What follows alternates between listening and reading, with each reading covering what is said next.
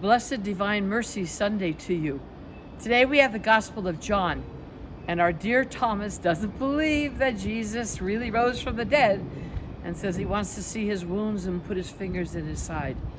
And Jesus does not belittle him because of that. Takes him where he's at, shows him his compassion, and says, Come on, touch the holes.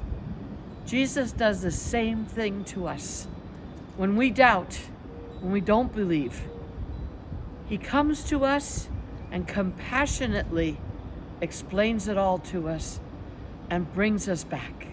So we too can say, My Lord and my God. God bless you on this Sunday. Please pray for all the people in Ukraine, especially our sisters. Know we love you and we pray for you. And see you next week.